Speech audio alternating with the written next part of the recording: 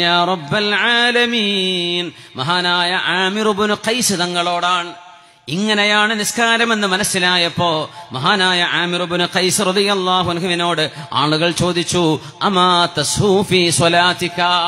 ആമിറുബുന് ഖൈസെ നിങ്ങൾ നിസ്കരിക്കുമ്പോൾ നിസ്കാരത്തിൽ ഒരു വേറെ ചിന്തുന്നു വരില്ലേ? നിങ്ങൾ നിസ്കാരത്തിൽ മറവിയൊന്നും ഉണ്ടാവില്ലേ നിങ്ങളുടെ നിസ്കാരം അത്ര ശ്രദ്ധയിലാണോ നിങ്ങൾ നിസ്കരിക്കുന്നത്? ഇത് ചോദിച്ചപ്പോ മഹാനായ ആമിറുബിന് ഖൈസ് റഹ്മത്തുള്ളാഹി അലൈഹിയുടെ മറുപടി അവ ഹദീസുൻ അഹബ്ബ ഇലയ്യ മിനൽ ഖുർആനി ഹത്താ അഷ്തഗില ബി അള്ളാഹുവിന്റെ ഖുർആൻ ഞാൻ ഓതിക്കൊണ്ടിരിക്കുമ്പോൾ അള്ളാഹുവിന്റെ ഈ വചനത്തെക്കാളും ഇഷ്ടമുള്ള വല്ലതും എന്റെ ജീവിതത്തിലുണ്ടോ? ഹൈഹാത്ത് ഹൈഹാത്ത് മുനാജാത്തുൽ ഹബീബ് തസ്തഗരിഖുൽ ഇഹ്സാസ്. മഹ്ബൂബിനോടുള്ള അഭിസംബോധന നമ്മുടെ എല്ലാ ചിന്തകളും മറപ്പിച്ചു കളയുന്നു. മെഹബൂബിനോട് സംസാരിക്കുമ്പോൾ അതാണ് കാമുകി കാമുകന്മാരൊക്കെ ഉമ്മയും കടന്നുറങ്ങിയാൽ തുടങ്ങണ ഫോണ് പിന്നെ സുബൈ കഴിഞ്ഞിട്ട് അവസാനിക്കുക എന്താണ് പറയാനുള്ളതെന്ന് ഓൽക്ക് തന്നെ അറിയുള്ളൂ. അല്ലേ? കല്യാണം കഴിയണ വരെ അല്ലെങ്കിൽ നിക്കാഹ് കഴിഞ്ഞിട്ടുള്ള സംസാരമായിരിക്കും കല്യാണം കഴിഞ്ഞാൽ പിന്നെ അത്ര ആവേശമൊന്നും ഉണ്ടാവില്ല. അപ്പൊ പെണ്ണുങ്ങൾ പറയാം അല്ല നിങ്ങൾ എന്തോ ഒരു ഫോൺ ചെയ്ത മനുഷ്യനാ. ഇപ്പൊ എന്താ ഞാൻ വിളിച്ചിട്ട് എടുക്കണ പോലും ഇല്ലല്ലോ. അപ്പൊ എല്ലാ തിയറിയും പറഞ്ഞു കഴിഞ്ഞില്ല. ഇനിയിപ്പോ എന്താ പറയാനുള്ളത്? കുറച്ചെങ്കിലും ബാക്കി വെക്കാൻ ഉണ്ടാവണമെന്ന് എല്ലാ കഥയും പറഞ്ഞു തീർക്കരുത്. സീരിയലൊക്കെ അവസാനിപ്പിക്കണ പോലെ ആ ഒരു ഒരു ചെറിയ ഒരു ഒരു ഒരു ഒരു കൺഫ്യൂഷൻ കൊടുക്കണം. ആ. അപ്പോ നമ്മുടെ ദീനിന്റെ ഒരു പ്രത്യേകത അതാണ്. അതുകൊണ്ടാണ് ഈ കല്യാണം കഴിയേണ്ട മുമ്പ് നിങ്ങൾ തേനെ പോനെ പൊന്നെ എന്ന് പറഞ്ഞിട്ട് വെറുതെ മറീന ബീച്ചിലും അവിടെ മറൈൻ ഡ്രൈവിലും പോയിട്ട് കറങ്ങണ്ട. കാരണം ആ പറയണതൊക്കെ നുണയാണ്. ആദ്യം പറയാം നമ്മുടെ ഹണിമൂൺ മലേഷ്യയിലാട്ടോ. ഓന് പാസ്പോർട്ട് വരെ വാങ്ങാനുള്ള വകുപ്പുണ്ടാവില്ല. പക്ഷെ പറയുമ്പോൾ അതൊക്കെ പറഞ്ഞു കൊടുക്കണ്ടേ? പിന്നെ പറയും നമ്മൾ മുന്നൂറ് രൂപയ്ക്ക് ചായ കിട്ടേണ്ട കോഫി ഷോപ്പൊക്കെ ഉണ്ടല്ലേ കൊച്ചിയിൽ ആ നമ്മൾ അവിടെ വന്നിട്ടാകാരം നമ്മുടെ ആദ്യത്തെ കോഫി മീറ്റ്. ആ ആയിക്കോട്ടെ. നടക്കാൻ പോണില്ല എന്ന് അവനും അറിയാം. അവൾക്ക് ഒരു ആഗ്രഹം കേട്ട് നല്ലതല്ലേ കേൾക്കണത് ആരോ പണ്ട് ഗൾഫിൽ നിന്ന് പൈസ അയക്കണ കഥ പറഞ്ഞിട്ടില്ലേ? രണ്ട് ഒരു ലക്ഷം റുപ്യയിൽ അമ്മായിമ്മക്ക് ഇത്ര നിങ്ങൾക്ക് ഇത്ര അനുജന് ഇത്ര. ഇതൊക്കെ തരാനാണ് ആഗ്രഹം പക്ഷെ എന്റെ അടുത്ത് ജോലി വരെ ഇല്ല. സുബഹാനല്ല. ഈ വക പഞ്ചവ പഞ്ച പഞ്ച പഞ്ചസാര കലർന്ന വർത്തമാനങ്ങൾ പറയുമ്പോഴേ അതൊന്നും ഹക്കീക്കത്തല്ല. അതിനാണ് നിക്കാഹ് കഴിഞ്ഞ് അവനവന്റെതാകണത് വരെ ഇതൊക്കെ പറയുള്ളൂ. അവനവന്റെ കയ്യിൽ കിട്ടിയാൽ വിവാഹം ചെയ്ത് ഇവൾ എന്റെ സ്വന്തമാണ് എന്ന് തോന്നിത്തുടങ്ങിയാൽ പിന്നെ ആവേശമൊക്കെ പോകും അതാണ് ഈ ചാടിപ്പോണ കുട്ടികളൊക്കെ ആറുമാസം കഴിഞ്ഞ് വെക്കേഷന് വരുന്ന പോലെ വരുന്നത്. ആ തുടക്കത്തിൽ പോണ ആവേശമൊന്നും ഒരു ആറു മാസം മൂന്ന് മാസം കഴിഞ്ഞാൽ ഉണ്ടാവില്ല. അതുവരെ ഇവർക്ക് തോന്നുന്നു റബ്ബ് ഇവൻ എന്റെ ജീവനാണ്. മൈ താരെ തോടുക്കെ ലാവുങ്ക മൈ ദുന്യ ഘുമാവുങ്ക മൈ തുമേ ചാന്തിലെ ജാവുങ്ക അങ്ങനെയൊക്കെ പറയാം. അതൊക്കെ വെറുതെ പറയാ. ഓട്ടോറിക്ഷ വെച്ചിട്ട് അങ്കമാലിക്ക് പോകാൻ വകുപ്പുണ്ടാവില്ല. പക്ഷെ ഈ വർത്തമാനങ്ങളാ പറയാ. അതുകൊണ്ടാണ് അള്ളാഹു ചാല ഏ അത് വേണ്ട. ആ വക സോഫ്റ്റ് കോർണറും സ്നേഹവും പ്രേമവും അതൊക്കെ എടുത്തു വെച്ച്. കല്യാണം കഴിഞ്ഞ് നിന്റെ ഭാര്യയോട് അവൾ നിന്റേതാണെന്ന് ബോധ്യപ്പെടുമ്പോൾ സത്യസന്ധമായി നടക്കണത് പറഞ്ഞാൽ മതി. കാരണം കല്യാണം കഴിഞ്ഞാൽ പിന്നെ ഇത് പറഞ്ഞാൽ കുടുങ്ങിപ്പോവും കാര്യം നടക്കണതിന് മുമ്പ് അതൊക്കെ പറയാ. നടന്നു കഴിഞ്ഞാൽ പിന്നെ യാഥാർത്ഥ്യവുമായി പൊരുത്തപ്പെടണം. അതുകൊണ്ടാണ് അള്ളാഹു നിഖാഹിന്റെ മുമ്പ് ഇതുപോലെയുള്ള കാര്യങ്ങൾ ഡേറ്റിംഗ് ഇതുപോലെയുള്ള ഫ്രണ്ട്ഷിപ്പ് പാടില്ലെന്ന് പറയാൻ കാരണം. അത് വഞ്ചനയാണ്.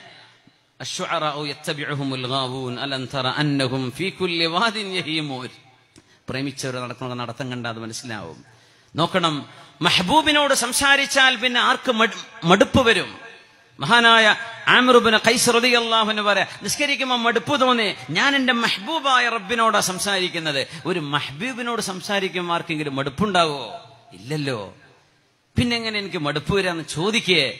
ഞാൻ ഓതുന്നത് അള്ളാഹുവിന്റെ വചനമല്ലേ? ആ വചനത്തെക്കാളും മധുരമുള്ള വല്ലതും ഈ ലോകത്തുണ്ടോ? ഞാൻ അതല്ലാതെ മറ്റൊന്നൊന്ന് ചിന്തിക്കാൻ എന്ന് ആമറുബിന് കൈസുറതി ചാലാൻ കൊടുത്ത മറുപടിയാണിത്. ആ മധുരം അറിഞ്ഞപ്പോഴാണ് മുസ്ലിമുബുന് യസാർ റഹ്മത്തുല്ലാഹി അലൈഹി നമ്മുടെ താബിങ്ങളുടെ കാലത്ത് കഴിഞ്ഞുപോയ അത്താഉബ്നു യസാർ എന്ന് പറയുന്ന സഹോദരനുണ്ട് മുസ്ലിമുബുന് യസാർ. രണ്ടുപേരും പ്രഗത്ഭരായ പണ്ഡിതന്മാർ. ലാ യൽതഫിതു ഫീ സ്വലാത്തി. നിസ്കാരത്തിൽ എന്ത് സംഭവിച്ചാലും തിരിഞ്ഞു നോക്കാത്ത ആളായിരുന്നുവെന്ന് മനസ്സിലായത് ബഗദാദിലെ പള്ളി പൊളിഞ്ഞു വീണപ്പോ പള്ളിയുടെ ഒരു ഭാഗം പൊളിഞ്ഞു വീണ് പള്ളിയിലെ മുഴുവൻ ആളുകളും സീറ്റിലേക്ക് ഇറങ്ങി ഓടിയപ്പോ മഹാനായ മുസ്ലിം യസാർ എന്നവര് ആ പള്ളിയുടെ പതനത്തിന്റെ ഘോര ശബ്ദം കേട്ടിട്ട് പോലും നിസ്കാരം മുറിക്കാതിരുന്ന ആളായിരുന്നു.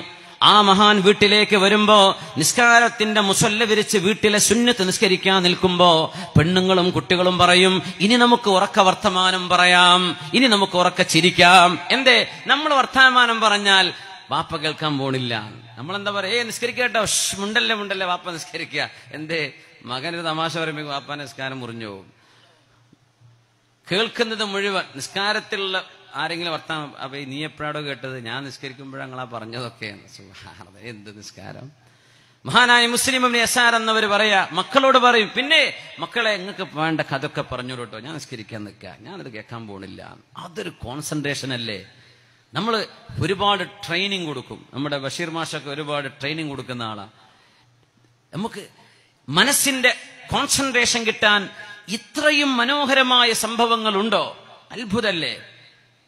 ഇങ്ങനൊക്കെ നമ്മൾ അത്ഭുതപ്പെടും. നമ്മൾ പറയില്ലേ അൻപതിനായിരം ഒരു ലക്ഷം പത്ത് ലക്ഷം ഹദീസുകൾ മനഃപ്പാടമാക്കിയ ആളുകൾ ഉണ്ടായിരുന്നു ഒരു ഒരു ചെറുപ്പക്കാരൻ കാര്യം പറഞ്ഞു ഏതൊരു പെൺകുട്ടി കോഴിക്കോടങ്ങാനുള്ള കുട്ടി കുറേ മനഃപ്പാടം വലിയ മെമ്മറിയിൽ ഒരു കുട്ടീന്റെ കഥ വന്നല്ലോ. ഒരു പെൺകുട്ടി ഒരു എട്ടോ ഏഴ് വയസ്സോ ആറ് വയസ്സോ ഉള്ള ഒരു പെൺകുട്ടി ഇല്ലേ? ഏ കഴിഞ്ഞു പോയ രാഷ്ട്രപതിമാരുടെ മുഴുവൻ പേര് പ്രധാനമന്ത്രിമാരുടെ മുഴുവൻ പേര് എല്ലാ നദികളുടെ പേര്. അപ്പൊ കുട്ടിയോട് ചോദിക്കുന്നുണ്ട് മോളെ എങ്ങനെയാ എനിക്കറിയില്ല. അപ്പോ എന്റെ സുഹൃത്ത് പറയാ വേദൊക്കെ കേൾക്കുമ്പോഴേ അഹമ്മദ് ബിൻ ഹംബൽ എന്നവര് ഏഴ് ലക്ഷം ഹദീദ് അല്ലെങ്കിൽ പത്ത് ലക്ഷം ഹദീദ് ഇമാമുന ഷാഫിതങ്ങൾ സനതടക്കം പത്ത് ലക്ഷം ഹദീദ് മനഃപ്പാടമാക്കി ഇതൊക്കെ പറയുമ്പോൾ ഇതൊക്കെ നടക്കുമെന്ന് തോന്നിയിരുന്നു. ഈ കുട്ടിയുടെ കഥ കണ്ടപ്പോൾ മനസ്സിലായി ഇതുപോലെ അള്ളാഹു കൊടുത്ത മൗഹിബത്ത് അള്ളാഹു നൽകുന്ന ദാനമായ മെമ്മറി ഇതുണ്ടെങ്കിൽ എന്ത് പ്രയാസം? എന്ത് പ്രയാസം? നടക്കൂല എന്ന് ആര് പറഞ്ഞു? ഇതുപോലെയാണ് നമ്മൾ നിസ്കാരത്തിന്റെ ഏകാഗ്രതയെക്കുറിച്ച് പറയുമ്പോൾ ഇങ്ങനെ കണ്ടോ പള്ളി പൊളിഞ്ഞു വീണിട്ട് അറിയാണ്ടിരിക്കെ. നമ്മൾ കൊതുകടിച്ചാൽ അറിയുന്നു ഫാൻ ഓഫായി പോയാൽ അറിയുന്നു ലൈറ്റ് പോയാൽ അറിയുന്നു റോഡിലൂടെ ഒരു ജാഥ പോയാൽ ആ വിളിക്കുന്ന സർവജാഥയുടെ വിളിയും നമുക്ക് മനഃപ്പാടമാകുന്നു പടച്ച റബ്ബേ ഇവരൊക്കെ ഇങ്ങനെ നിസ്കരിക്കേ എന്റെ നിസ്കാരം അത് സാധ്യമോ? സാധ്യമാണ്. സാധ്യമാണ്. തിരിച്ചു കാണിച്ചു തന്നല്ലോ ചരിത്രം. മുസ്ലിം ഉബ്നു യസാർ എന്നവർ അങ്ങനെയാണ് പരിശുദ്ധമായ നിസ്കാരത്തിന്റെ മധുരമറിഞ്ഞപ്പോൾ പള്ളി പൊളിഞ്ഞു തകർന്നു വീണത് അറിയാതെ പോയത്. അത് സാധ്യമാണ്.